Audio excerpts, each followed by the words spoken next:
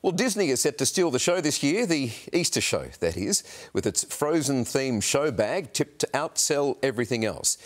Day one of the annual event has proved that it's as popular as ever, with early morning queues to be the first through the gate.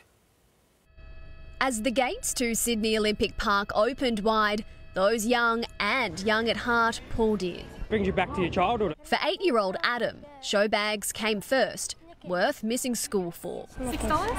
Picking the sweetest ones he could find. They also got me some free dry Skittles.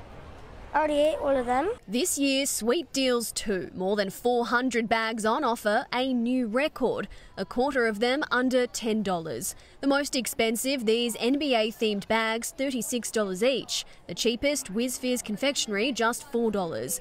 But the most popular, this year's offers from Disney's Frozen, $35, and a bag full of Bluey, $32. Belinda Whitby has been selling these bags for 40 years. We don't always make the parents happy, but we always make the kids happy. You don't have to spend much to get a good value in a bag. My mum literally only sent me here so that I could buy her show bags. My tip always is to come late in the day to the show bag pavilion, otherwise, you've got to cart them about the whole day at the show.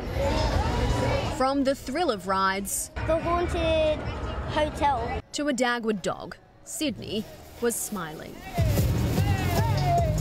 Here in the Pet Pavilion, this guy has just been crowned Sydney's Grand Champion Rat. How do you win that coveted title, you may ask? Well, judges look at the head, body, and tail. A quiet, calm attitude helps too. Competition also fierce at the Young Auctioneers competition. just comes down to who can control their nerves the best. And the numbers have just come in. 35,000 people have come through the gates today. So we're on track to hit 40,000 by tonight, which organisers say is a great result outside school holidays. It is shaping up to be a huge weekend, and with numbers capped at 80,000 a day, the advice is to buy your tickets online and early. Michael, it's only day one of 12, so still plenty more action to come. And looking more comfortable without the rat in your shoulder there, Amy. Thank you for that tonight at the show.